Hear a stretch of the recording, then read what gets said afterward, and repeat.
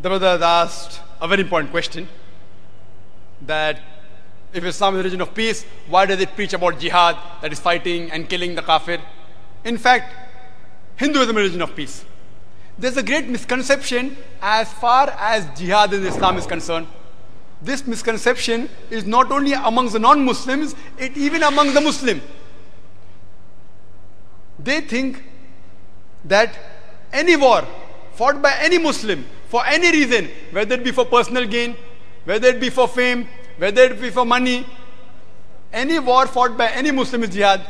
Jihad does not mean any war fought by any Muslim. Jihad comes from the Arabic word jahada, which means to strive, which means to struggle. In Islamic context, it means to strive against one's own evil inclination. It also means to strive to make the society better. It also means to strive in the battlefield in self-defense. It also means to fight against tyrant and oppression. Jihad basically means to strive, it means to struggle. And very often the critics of Islam, even the Hindu critics, even Arun Shourie, he writes in his book, The World of Fatwa, and he quotes Surah Tawbah chapter number 9 verse number 5 and it says that the Quran mentions, wherever you find a kafir, into bracket Hindus, wherever you find a kafir, you kill them. And if you open the Quran, and if you read in this Quran, chapter number 9, verse number 5, it does say that wherever you find a kafir, you kill him. But it is a quotation out of context. For the context, read a few verses previous. The first few verses of Surah Tawbah speaks about a peace treaty between the Muslims and the mushriks of Makkah.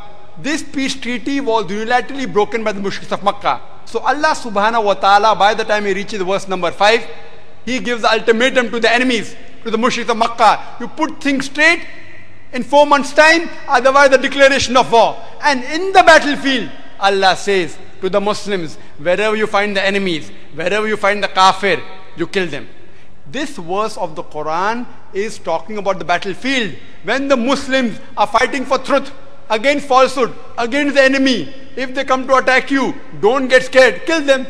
Any army general, to boost up the morale of the soldiers, will say, that kill the enemies.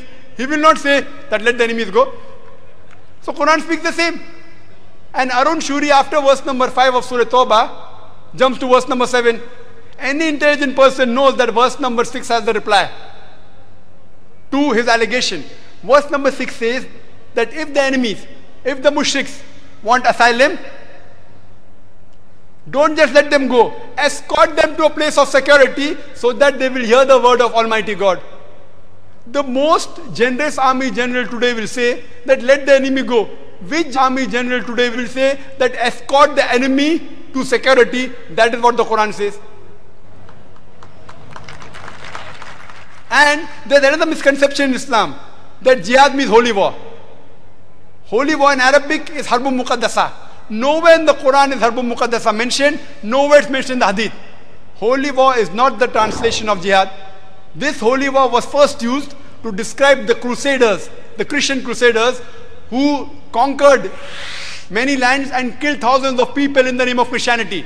Now today they use this holy war for Muslims, which is totally wrong. And unfortunately, many Muslim scholars, inverted commas, even they use holy war as a translation from jihad, is totally wrong.